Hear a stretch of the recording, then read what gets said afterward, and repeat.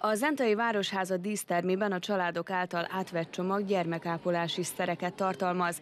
Törköly Tünde kisbabája tavaly született. Az anyuka hasznosnak találja a csomagban található tárgyakat. Egy nagyon szép kis takaró van benne, ha jól láttam, fésű, orszippancs, kiskanál, és nagyon örülünk neki. A Zentai Városháza dísztermében jelen volt Pásztor István, a Vajdasági Magyar Szövetség elnöke, Hajnal Jenő, az MNT elnöke, és Zenta község önkormányzatának képviselői is.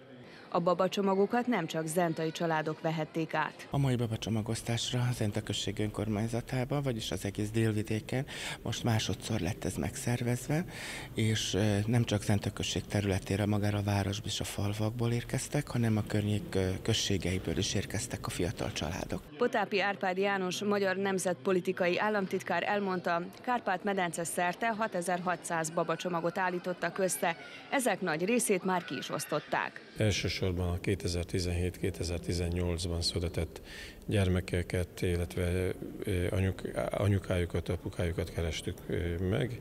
Ezzel a lehetőséggel azok tudják igényelni ezt, vagy azok kapták meg, akik anyasági támogatást igényeltek, és március 25-e után másodszor adunk át ünnepélyes keretek között itt a Vajdaságban ilyen csomagokat. Az államtitkár hozzátette, a csomagok tartalmának értéke régiótól függően 15 és 20 ezer forint között mozog.